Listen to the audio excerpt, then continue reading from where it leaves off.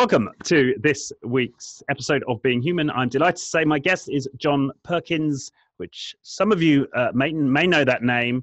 Uh, he's the author of Confessions of an Economic Hitman. Uh, he has written many, uh, many books, uh, but that's the one for which he's, he's best known. John, welcome to the show. Thank you, Richard. Great to be with you. Okay. Well, I mean, it's been fascinating, I must say, over the last few days delving into your work. And as I say, I first became aware of your work through the, the first the first iteration of uh, Confessions of an, an Economic Hitman. Sometime back, uh, I was then re reacquainted with your work. You've got a new version of, of that book, uh, as well as some of your uh, some of your books on shamanism and so on.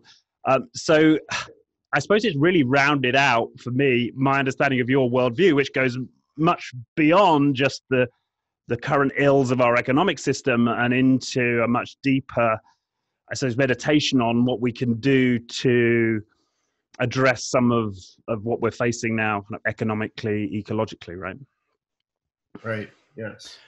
So perhaps for people who are just getting in, into uh, some of the things that we're going to talk about here, for, should we start with Confessions of an Economic Hitman. I know we've got an hour, and I really want to get into the shamanism and, and, and some of the other stuff that you've explored. But just to, to lay out for people, as briefly as you can, I suppose, your your journey from, I suppose, a, a man in the machine to somebody now actively seeking new ways to to think about our, our, our systems and how we organize ourselves. Sure, Richard. I think it's probably would be good to start actually. Uh, before I was an economic hitman, I, I when I graduated from business school, I joined the Peace Corps, and the Peace Corps sent me to deep into the Amazon rainforest of Ecuador.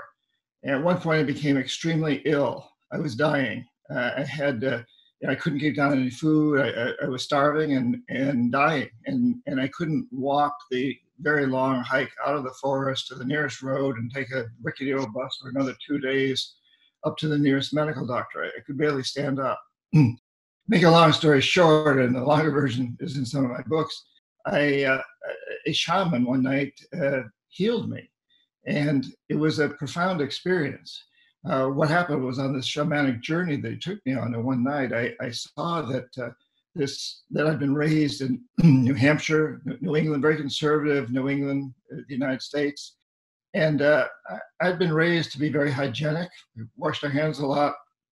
We ate very bland foods, and suddenly here I am living in the rainforest with these indigenous people, the Shuar, who've never seen a bar of soap, and they eat some very strange foods, in my opinion, uh, including uh, they don't drink water. Amazonian people don't drink water because they, they know the rivers are not safe to drink because of organic matter that floats in them. Uh, and so they drink something called chicha, which is kind of a beer that's made from women chewing manioc root and spitting it, and then it ferments into this beer. And then they can add water. Spit beer, you know. Uh, I was drinking a lot of spit beer because there wasn't any alternative. There was no Perrier.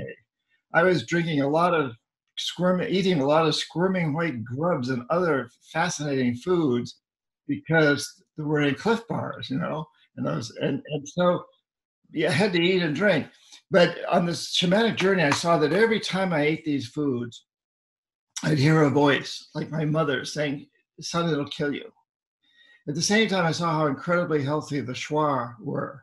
The men what? are all built like Tarzan, you know? And and so I saw that one night that it wasn't the food and drink killing me, it was my perception. And so that's I wanted to tell this story because it kind of sets the framework for everything after that. Right. But it, but even what you've just you've just said there, I think for some people are going to there's quite a lot in there, right? You you talked about a shamanic journey. I'm guessing for some people they, they won't be sure even what that is. So maybe if you could break that down a bit to, to give that story you've told just a bit of context. Yeah, well, since then I've studied with, so let me go. So after that, I recovered that night, and the next morning I was fine.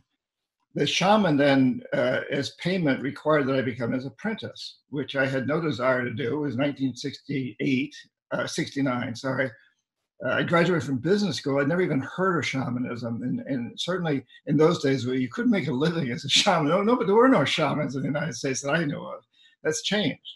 Uh, but he saved my life, so I became his apprentice. And I, I learned, uh, you know, a lot from him. And then after that, later I became an economic hitman. I traveled around the world and I took a lot of time off whenever I could in places like Indonesia and Iran and Egypt and all over Latin America to study with shamans in those places.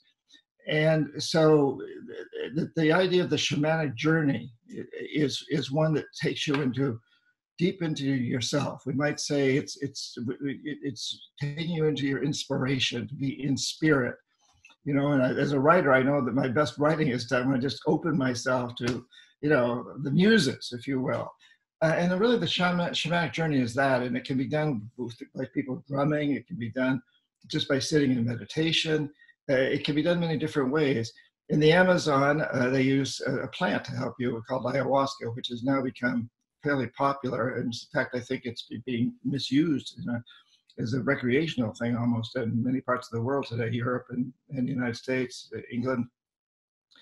Uh, but in those days, I'd never even heard of it. Nobody in the United States had. Uh, and it takes you into this, uh, what we call an altered state. Uh, and uh, and in that altered state, that's when I saw that the, the food wasn't killing me, the drink wasn't killing me. It was my mindset, my perception. Well, that as I studied shamanism later on, and, and with this shaman, I, I came to understand that in shamanism, the belief is that there's really uh, two realities. There's the objective reality, the microphone, the camera that we're talking through right now. And there's a perceived reality, and that's really our conversation. And all human institutions, are, all human reality essentially is determined by our perceptions of reality. There is no England, there's no United States. There's no religion. There's no culture. Uh, there are no corporations. There's nothing unless uh, until human beings perceive it. And when enough of us accept a perception or codify it into law, it affects reality. It changes reality. It becomes reality. And that's a very shamanic concept. It's also a concept that's used by psychotherapists around the world these days, and quantum physicists, and, and, and, and, and media moguls, and PR executives. Anyway. Yeah, no, but so so so so help me understand then. So your perceptions of this food was ma- were making you sip. So what do you what do you mean by that? Well, uh, you know, it, it I'd hear this uh, literally. I, I, I, inside of me would be this this every time I ate these foods or drank this, it would I would just it would, taste awful, you know, and and and I would I would do it because it's all there was, and but I there was this voice within me, with let's call it a voice or a knowing within me, a knowing, a, a knowing, which was really a perception, not truly a knowing, a knowing, but that it was bad for me. That it was it was dirty. It was you just shouldn't do this. You shouldn't drink spit beer. I mean, somebody spit this stuff to make you know it actually ferments. After that, it becomes a kind of a beer. So it's we, we know I know now that it's and I've, I've, drunk a lot of it in my life. I still do. I take people into that area every year. I'm just about to, to head the Mayan country of, uh, of, Guatemala next week with a group of people. Uh, and, uh, but uh, we know now that, uh, I know now that chicha, which is what the spear is called, is actually, you know, very sanitary because it's alcohol. It, it, it purifies water. It purif- the spit is just as, uh, it sets up, helps set, set up a, a fermentation process but in those days it was like oh my god i can't believe i'm doing this and, and yet i kept doing it and so it, it created in me this this mindset uh, that it was killing me and so in fact it was killing me and i think you know we probably all know people who we might call hypochondriacs or, or whatever that uh, believe they're they're all always sick and so they always are sick and that is not to say that but every time you're sick, you, have caused this to happen. Your mind has caused it. That's not what I'm trying to say at all. That's that's not the case. I mean, there are bacteria, there are viruses, there are things like this. But in so, in some cases, it's perception. And the bigger issue is that in, when we look at human institutions, they are all created through perception. Our whole economic system, which is failing us so badly right now, causing climate change and so many other problems, it's a perception of what it means to be successful in economics. And we can talk about that in a, in a few minutes if you want. I can, I, can, I'm prepared now to get more into the economic hitman idea, but but it factors into what I just said. So I thought it was important to get that out there first. Right. Yeah, I think it's very important, and it was interesting to me reading the the, the books in sequence. Actually, the Hitman first, and then uh, and then the world as as you dream it, and starting to understand the the linkages and this. I suppose the dream we have of life and the dreams we have of of life as Westerners engaged in capitalism and so on c- create our world and there are, are there are alternate dreams for life that we can study and and learn from yeah. was yeah, something I, I, got. Well in fact uh, yeah in, in, my next book which comes out in june you can actually pre-order it now on any of the online uh, houses or bookstores called touching the jaguar which really brings these two together. So i've written five books on shamanism and four on global economics, and people often say, "Well, you're the same guy." There's, no rela- There's a very strong relationship. in this next book, "Touching the Jaguar," which is a saying from the Amazon, uh, brings them together. Uh, and yeah, I mean, there's a there's a there's a very strong connection there. And if you you look at different lifestyles, if you think about human beings, we've been human. We've called us we, we, we've considered ourselves human for about 200,000 years, maybe a little more. And only out of maybe the three, the last 3,000 have we been living these lives that say that we need to control nature, we need to maximize short-term benefits, uh, and uh, you know we need to we, we need to rob the earth basically, to take its resources and maximize that use. For all the rest of human history, we lived very sustainable lives, and and the motive was long-term sustainability, not just for ourselves, but for our children, our grandchildren, you know, the famous seventh generation idea. And, and for all of nature, not just for humans, but, but people like, and still in the Amazon and, some of these uh, indigenous groups, they still totally believe that, that, that, that that's, that we have to take care of the long term. It's not just about the short term. So it's not just that there are alternative uh, ideas out there, it's that in fact human beings have done something very strange and unusual for a very short period of our history 3,000 out of 200 and some odd thousand years. Uh, and we all come from indigenous cultures uh, that practice these very sustainable lifestyles. If, if you look at if you look at the British Isles, for example, where you are, uh, you know, you go back in history and you, you look at, at the cultures that, that lived there then, they were very, very sustainable cultures and they were very much honored the long term, not just the short term. So we have a very strong model to, uh, to revert to. And that does not mean that we need to revert to living in caves or thatched roof houses. It means we move into a whole new concept of what it means to be human on this planet and a new vision of, of a successful economy, moving from what economists are beginning to call a death economy that we have right now, which is which consumes itself into extinction, into a life economy, which which re, which regenerates destroyed environments and uh, cleans up pollution and pays people to do these things and pays people to create new technologies that don't uh, that don't destroy the planet the planet in the process. Right.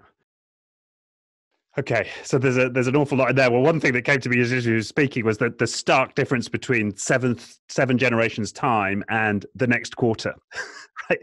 The the time frame that we operate with in capitalism versus those sustainable cultures. Yeah, and it's not just the next quarter anymore. It's, it's today. It's the it's the stock market. What's the stock market doing today? What's what's the stock price of my company doing today? It's it's, it's not even a quarterly thing anymore. Um, it's uh, it's much more immediate than that. Right. And okay, so uh, perhaps for, we should we should define briefly then what uh, an economic hitman is, mm-hmm. and perhaps expand from there the, the, issues expand on some of these issues we have with our current capitalist system and then and then we can dive a little bit more into the shamanism yeah so after i got out of the peace corps i was in ecuador uh, in the amazon for a couple of years and then studying and then working with shamans in the high Andes, the Quechua people, for another year. Um, after that, I, I did what I've been trained to do in business school. I became an economist for a major consulting firm and very quickly rose to chief economist uh, through a series of circumstances and, and ended up having a staff of, of between two and, and, and four uh, dozen people working for me.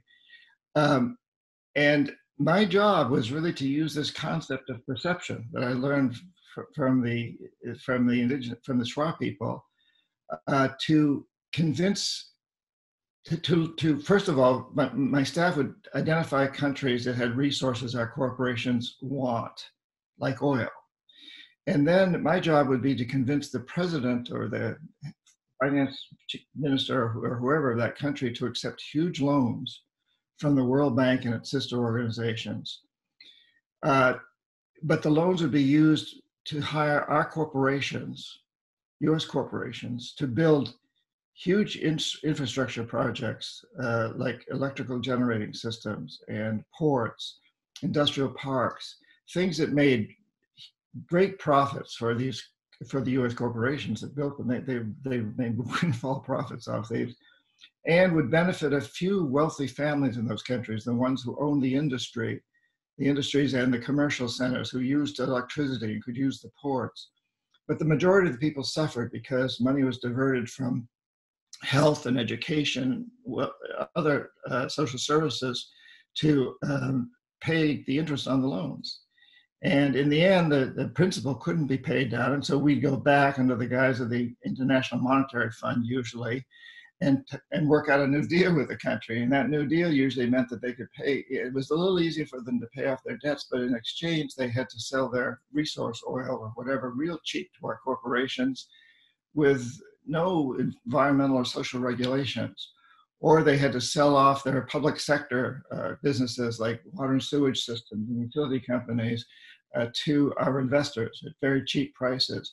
Vote with us on the United Nations votes, vote with the United States against Cuba or whatever. Allow us to build a military base on this. So these sorts of things, or these what we call conditionalities, uh, that they had to agree to. And you know, and it was interesting too that in in the case when presidents or heads of state would not accept these deals, uh, I would remind them of what happened to President Allende of Chile and Arbenz of Guatemala, and more recently Zelaya uh, of Honduras, just in the last, just in 2009, and uh, Mossadegh of Iran, and Lumumba and Diem, and many other leaders who did not play the game, and the jackals, what we call the jackals, were sent in, usually CIA assets, who would overthrow or assassinate these leaders. And so, really, my job was to then go back to my staff and have them create reports that would show that if these investments were made, uh, the economy would grow. And that was a perception that was easy to put across because statistically you can show it happening with the statistics that we use to measure GDP, economic growth. That when you invest in these types of things, the GDP goes up. And so in the early years, I believe that what I was doing was the right thing. I thought I was doing a good thing. It's what I've been trained, been taught in business school to do, and what the World Bank teaches teaches that invest in these things and GDP increases. But over time, I began to see that GDP is a very false measure. It really measures the wealthy. Uh, most of the people in many of these countries don't even make the statistics. That you know, it's barter service, or they're buying they're buying and selling goods in small local markets that don't get that don't make the statistics at all. The wealthy people make the statistics, and even today, like in the United States, we know today three individuals have as much wealth as half of the, of the poorest half of the people in the United States. So if those three individuals last year made 10% profit and the half the country that's the poorest lost 2%, we're still going to show a gain of something around 8% in GDP. Mm-hmm. But but that doesn't mean the economy has benefited. It means a few rich people have benefited. And I began to see that this was the case. And so, really, these statistics are creating a perception. But the reports I was writing were actually using that whole idea of showing the president of the country that by taking on these loans, he could help the economy grow. And then he could use these reports to go out to his people and say, hey, we're taking on these huge loans and a lot of debt. Yes, we're taking on a lot of debt, but our economy is going to grow. We're going to be able to pay off the debt because of economic growth and so on and so forth, which was a was just a perception and, and, and usually a totally false one. It didn't work that way at all. The, the rich did get richer and the poor got poorer. The country didn't do better. And the biggest gate, benefiters of all were our corporations that built the projects. And so, as the story will go on later, that, that that's I, that whole idea also gives us the hope that now we can change the perceptions of and, and get out of this terrible. Uh, it's a really a social governmental economic system that's known as a death economy. That's that's ultimately self-destructive. Right and and you believe it's and it's self-destructive because because it's based on on maximizing short-term profits for corporations for businesses and essentially it emphasizes short-term gains and benefits for all of us so you know as a young person growing up, you, you, you're driven to want to have a, a, a better car, let's say. Uh, I was driven growing up in rural New Hampshire. If I could get a really nice car, I, then I could I, would get dates with the best girls, you know, that I wanted to date, that kind of thing.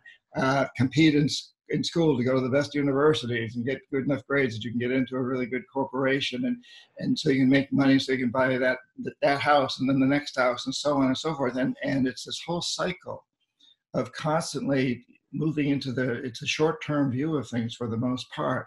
As individuals we we may put money aside in insurance we may create bank accounts some of us may but the majority of the people around the world are not doing that. They can't afford to do that. Uh, you know a large percentage of the world's population can only think about putting food on the table for the next for the next meal for their kids and that too is short term but the whole the system that drives all of this is the business system. Our corporations really control our governments. They control uh, they control life on this planet as we know it. They control reality through their, the perception that they create, that corporations create. And I'm not trying to paint corporations as bad. They can move in another direction, but they are given the mandate these days by their investors, by Wall Street in the United States, by their investors, that they need to maximize short term uh, stockholder profits. That is the mandate that they're given. And it's an extremely short sighted one. It means that they, the CEO is basically told that during the short term that you're running this company, uh, gobble up all the resources you can and use them to the maximum benefit of the short term profit. And if that means you've got to essentially bribe politicians, and you can bribe them legally by supporting their campaigns, at least in the United States, we can. Uh, and you know, you can create laws that, that, that, that destroy the, the environment, that don't protect the environment, that don't protect your workers. Do whatever you need to do to maximize your short term profits. And that's a very, very destructive uh, guiding principle. And it's actually a very, very new one in human history. Mm. Yes. And I'm also struck by this idea of you know I want to get the job and get the car to get the date. Uh, I was I was I was that kid right when I was in my twenties. I took a job in a consulting firm in the city in London, and it was all about could I get the highest possible starting salary out of university? Could I get the girl right? That was the way to get the girl. And I there's there's something that's so we're all kind of we're all co-opted in this, right? So I the, these corporations serve me because these these are the dreams that I want to fulfill. So I will go to the automobile firm and buy the car and I will buy the clothes and I will buy and I will buy all of that and consume all of that and do what I'm asked to by the system to get it. And it struck me that in your book, the, the second book, The World is, is As You Dream It, you describe uh, some, I can't remember the name of the lady, but she's from one of the tribes that you visit. And she talks about, well, we don't measure our people by uh, the, the, the amount of corn in their fields, it's the sunshine in their hearts. Mm-hmm. And I read that and I thought that's so far, right? That's so far from how we judge each other in the West, or at least I judge others and judge myself.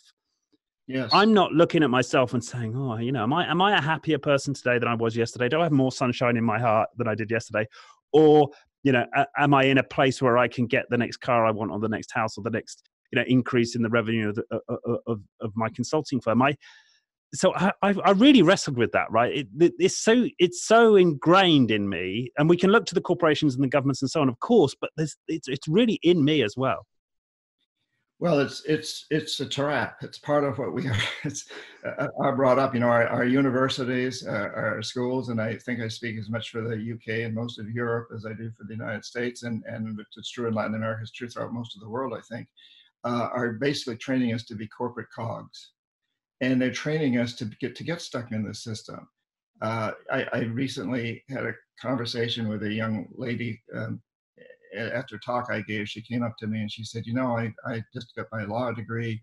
I, I went to law school and, and I, I did that so that I can become a really conscientious uh, lawyer defending poor people and maybe environmental issues also.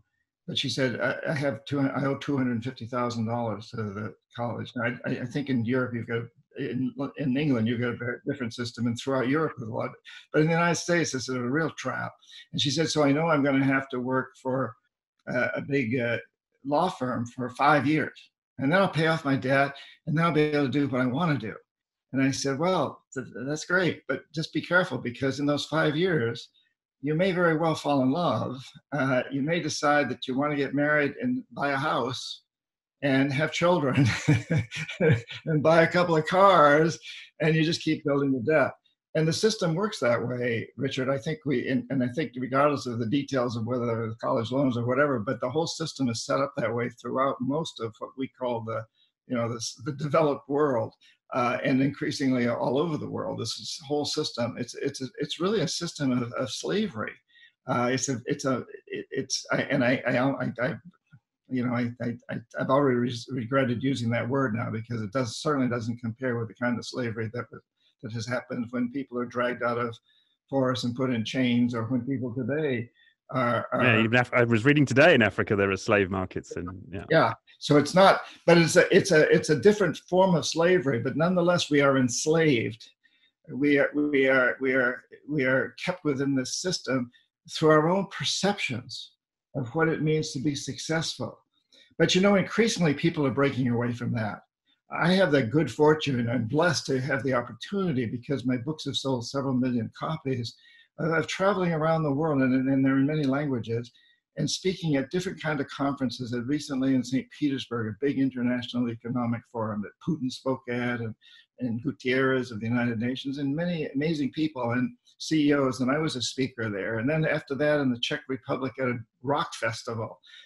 and and at universities and all kinds of different venues because I've written these two kinds of books, you know, and everywhere I go, China, uh, all over Latin America, all over the world, all over Europe, people are coming and they're, they're waking up. They're understanding that this system is not working. People are waking up to the fact that we live on a tiny space station, Earth, and we can't get off. And we're heading it toward disaster. Climate change is real, regardless of what the President of the United States and others say. It's happening. The glaciers are melting. There's no question. The oceans are rising. Species are going extinct uh, there's all kinds of statistics, we don't need to hear them, that, that show to us that this system doesn't work. And there's no reason why it should work. If you think about it philosophically, any system that says, I got to maximize short term use of everything that's around me, including gobbling up all the, the resources around me, it makes no sense ultimately. And it never has made sense to human beings until relatively recently, as I say, in, in our blink of the eye in, in our history, a couple, couple of thousand years. Uh, and so we, we're getting it. People around the world are getting it. And more and more, I'm running into young people and also corporate executives who are opting out, who are saying, you know, this isn't what I want. And there, I see that there are alternatives. And uh, so, uh, personally, I have tremendous hope. I, I, think we're moving in a very positive direction and it's moving fairly quickly. I would like to see it move even more quickly, but things have happened in the last five years, the last 10 years, which nobody would have perceived of or conceived of uh, 10, 15 years ago. So, what are some of the concrete signs you're seeing of, of this of this change? Well, you know, in, in, the United States, you know, the, the pop, we have a whole political system now that's running around this idea of the, the, the, the green economy, the, the new green economy, the, you know, the new green agenda, and so on and so forth. Conscious capitalism is a big thing. B corporations, benefit corporations, which define themselves as not being for short-term gain, but for long-term benefits for, for all. Uh, and in August of this past year, now it's 2019, um, 192 of the world's top CEOs came together at the what's called the conference board, uh, the, the, business board, and and and came out with a statement that said no longer can our goal be short-term profits. We've got to include in our goals uh, benefits to our employees and to consumers and to the communities where we work. I mean, it was it was a very uh, impressive statement. These are these are top CEOs. Now, they, they basically, they said we all need to be benefit corporations. We all need to be B corporations. They haven't done that, but the perception now is out there, and now it's up to us, the consumers, the investors, the employees of those 192 CEOs, to force them to do that. To say, "Hey, you've made this statement. Now follow through," and they need us to force them to do that. They they need to hear the, their consumers, their investors, and their employees saying, yes, yes, we're all for you, and we're only going to buy from you if you actually start to implement policies that reflect this philosophy. Right, and and and that sounds wonderful, and I can I can see that there's for, for some people taking a, the activism route works, and obviously there are very there are people who are very energetic activists out there. But for but one thing that appealed to me in, in your books was more this idea of that we sh- we shift this dream inside of us.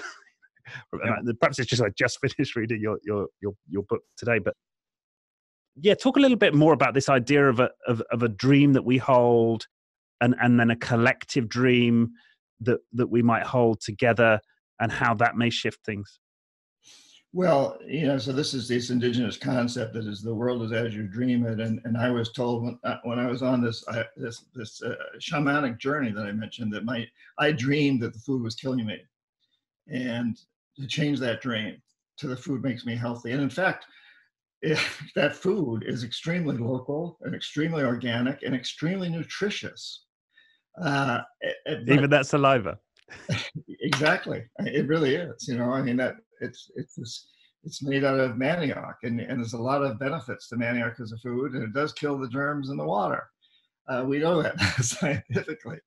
Um, but my dream was that it was killing me. I, the, the, word I pers- prefer is perception. The indigenous people talk about the dream because they're they're, they're a dream culture. They, but um, perception, and um, so what was the question?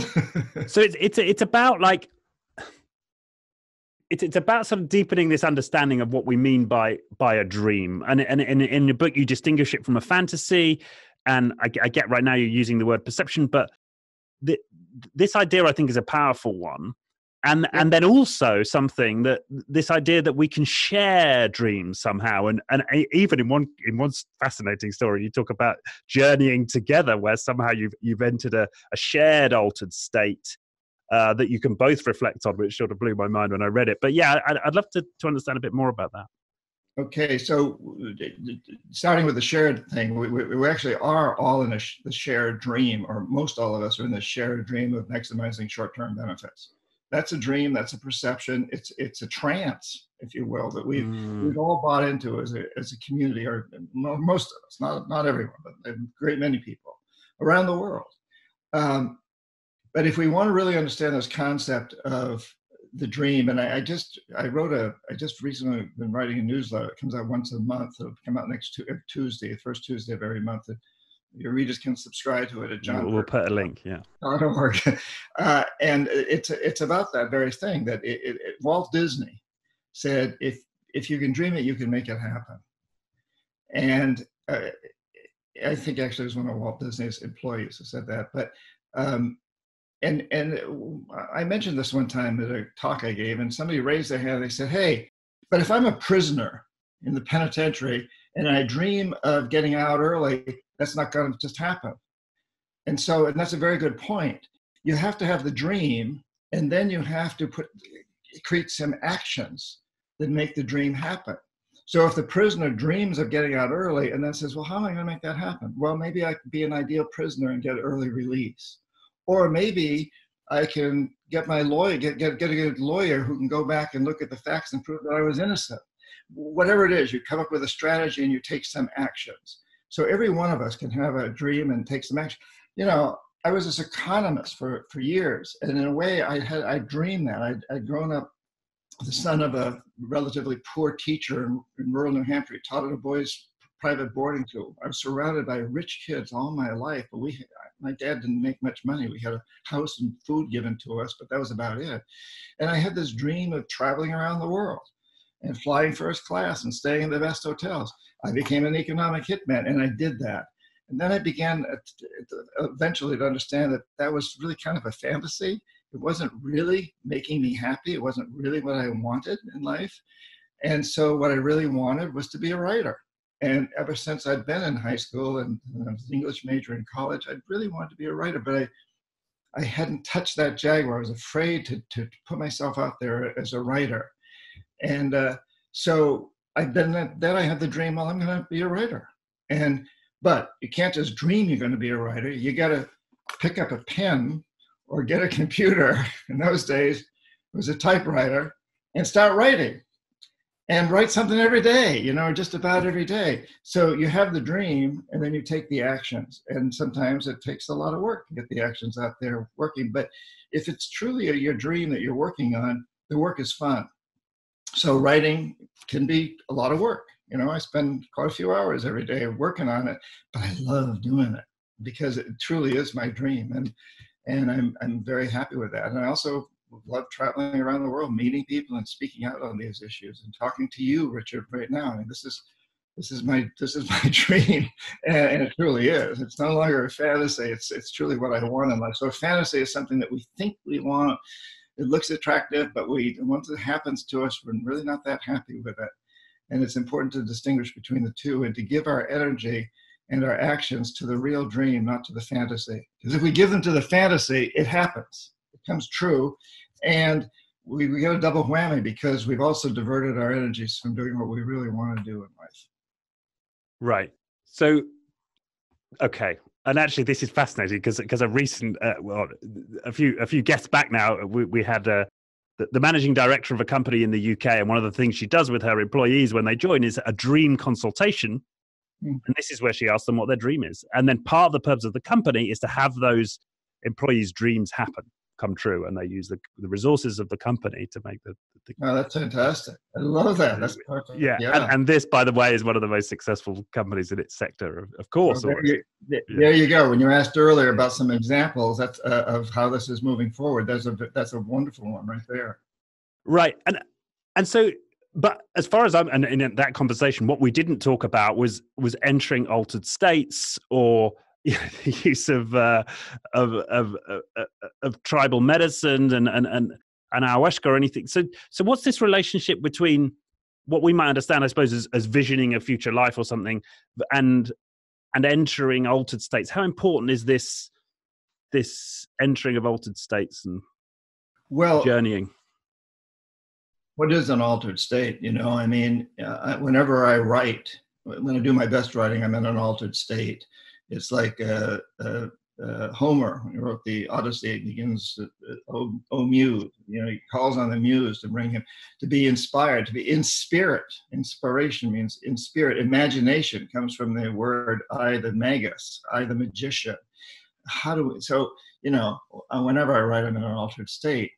And there's many ways to do this, and there's many different kinds of shamanic journeys that, that, that take us there. Drums, chanting, whatever. Just deep meditation. It can be that can take you into that. Uh, these plants that are known now as psychotropic plants, San Pedro, ayahuasca, plants like that are becoming quite popular in many places. They've been used by certain indigenous tribes for thousands of years. The majority of indigenous shamans do not use those sorts of things. Uh, the ones in the Amazon do, and in a few in parts of Africa, and they're becoming much more popular today that they do take they can take you into that state I, I, say this though with a lot of caution because I think in, in the United States and I think in parts of Europe and in, and in the United Kingdom, uh, these are being misused. Uh, people take them too frequently. I, I, uh, somebody said to me the other day, "Hey, I've taken 20, ayahuasca 20 times in the last year. How many times have you taken it?" And and I was trained as an ayahuasca shaman after that experience way back in 1968, 69, 70. And I said, well, the last time I took it was about five years ago, uh, and I'm still processing that. So, I, and I think that's that's a really that's an important aspect of the people who've been taking these things for for, for centuries, millennia, that they understand that you know if this is not a recreational experience, this is not a social experience. Um, we're told that ayahuasca, for example, and San Pedro are not addictive.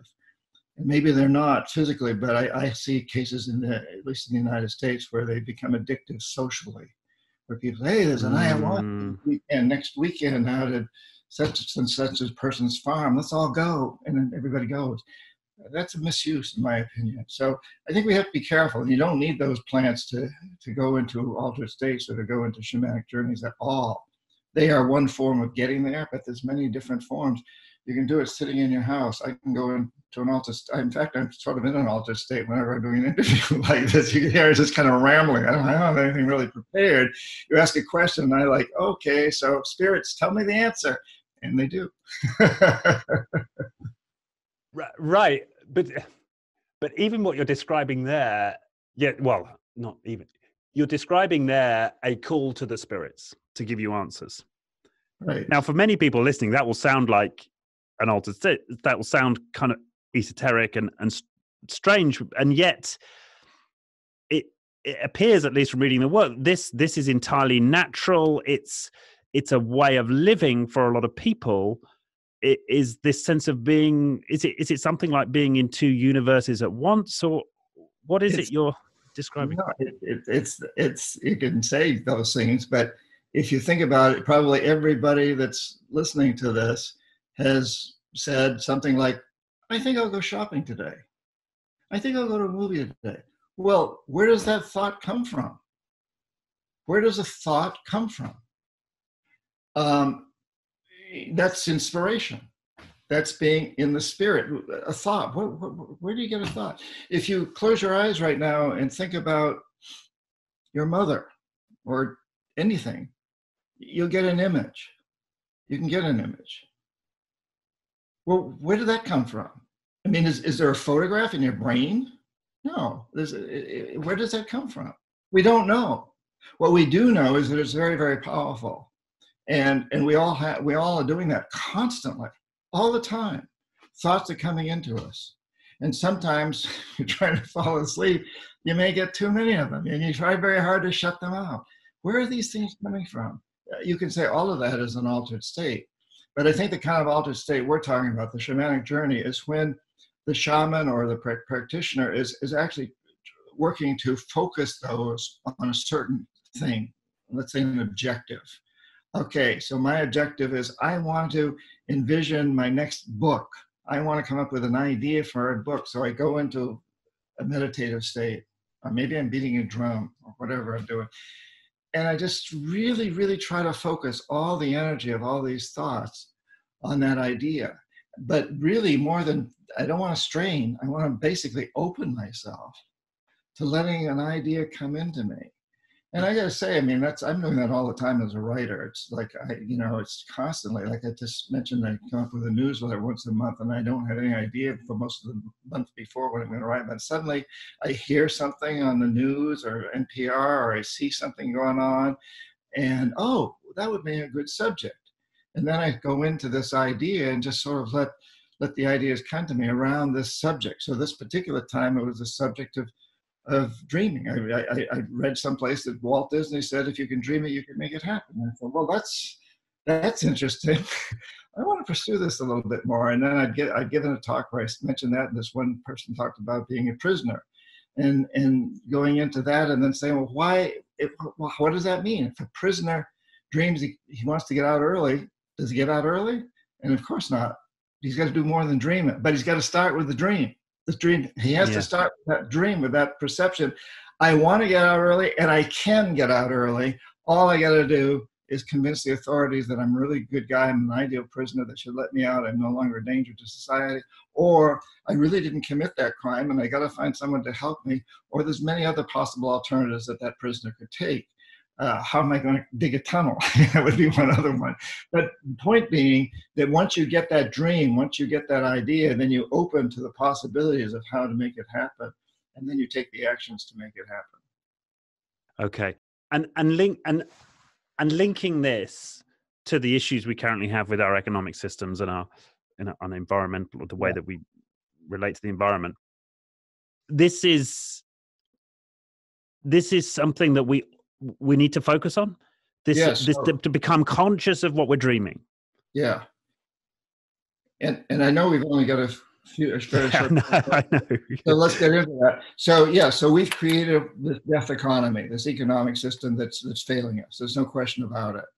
And it's based on a dream, a perception that that businesses must must maximize short-term profits. And now, as we mentioned earlier, that's really a daily thing. What's the stock? What's my stock doing today? And then it may be taken a little further, may even go out to the next quarter, but it's become more and more short-term, and it's creating tremendous problems. Uh, and so we need to change that dream and really honor businesses that, that maximize long-term benefits for everyone, for their employees, for uh, their investors, yes, and for the communities where they work.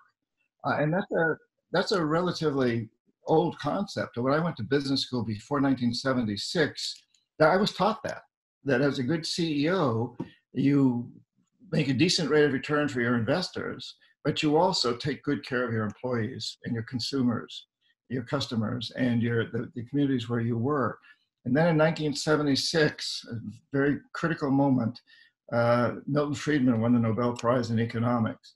And he, Milton Friedman made some very good statements, but one, one that you made that I don't believe was so good was that, and probably the most important one, was that the only responsibility of business is to maximize short-term profits. President Reagan bought into that, and Margaret Thatcher bought into that, and leaders around the world bought into it and corporate leaders bought into it. It's now the, the mantra of business schools. It's what it's a mantra of businesses. It became that. And it's been catastrophic what's happened since. And so, but it's just a perception that the, the, business of business is to maximize short-term profits. So now we need to turn that around and say, no, no, no, the business of business is to create a long-term future for all of us and our children and grandchildren. And and that means for all species. What are our children without trees or flowers or, or plant or uh, animals? And so uh, we turn that around to saying that the, the, success stories, the people who are going to make the covers of the Financial Times, the front page of the Financial Times, or uh, Time Magazine, or the or Fortune Magazine, or any of these places, these are going to be the executives that are leading the way toward creating a life economy.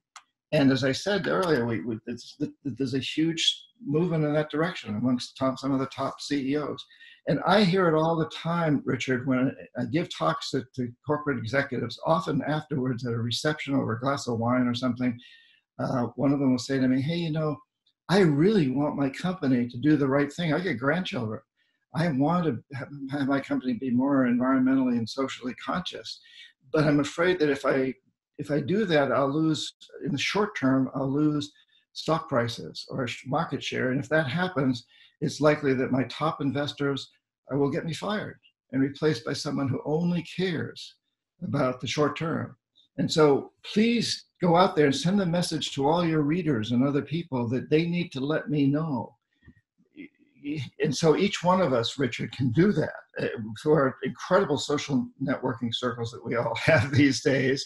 All we got to do is say, hey, send a send a to all of our friends and say, hey, please repeat this and send to comp- this company, send to, send to Nike a, uh, an email or a, a, tweet saying, I love your shoes, but I'm not going to buy them anymore until you pay your workers in Indonesia a living wage.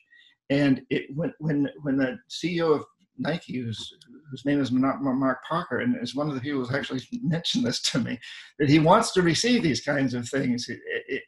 And uh, and he can take that has 100,000 of these tweets that he can take to his executive committee and say, these are our customers. We've got to listen to them. We've got to move into a new era. Let's us be the leaders in that era.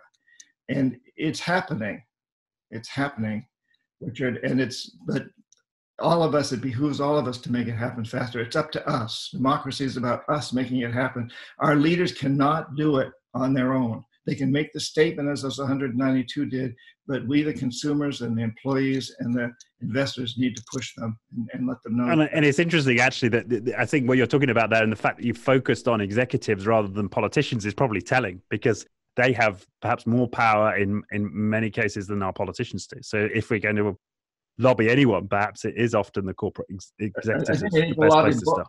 Yeah, we need to lobby yeah. both of them, but the politicians very much answer to the business, to, to the big money, the corporate executives. They, they very right. much do, and they often exchange jobs. You know, so you know yeah. we've had several presidents of the United States recently who came out of the oil industry, the Bush, the Bush family, for example. Uh, and uh, now we've got uh, a president of the United States who's, who's a real estate mogul, sort of. Yeah. And then the other, and I know we've got to close this out. It, it feels like there's so many big ideas in, in, in, what, what you've you've written, but one of the things you talk about, which also really struck me, was this idea of, of moving from an earth dominating culture to an earth um, to an earth honoring culture.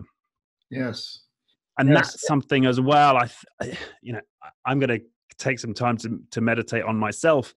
Is well, okay. So oh, clearly that has implications for the business world, but for me, what, what does a an earth honoring Richard Atherton look like versus an earth dominating Richard Atherton? And uh, that's an interesting question for me to wrestle with. Yeah, and I think each of us as individuals need to look at what we each can do and want to do. So I think you like to do these podcasts. So Earth and Earth honoring Richard, for you, is one who continues to do podcasts that really focus on this and bring on other people that can talk about these things.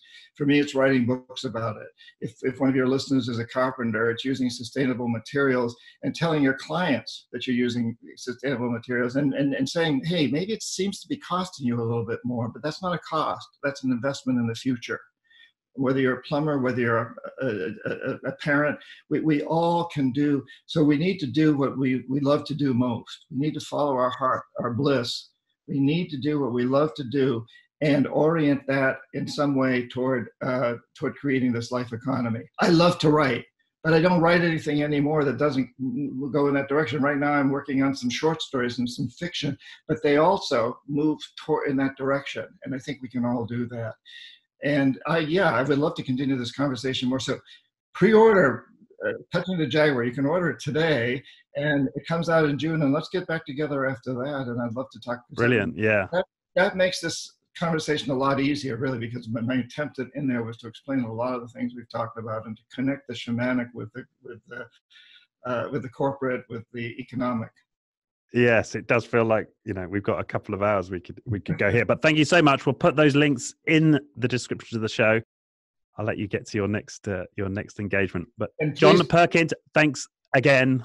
Wonderful conversation. You're welcome, and thank you for all you do, Richard. Talk to you. Thank we'll you. talk to you in June or July. Let's do that. Okay, awesome.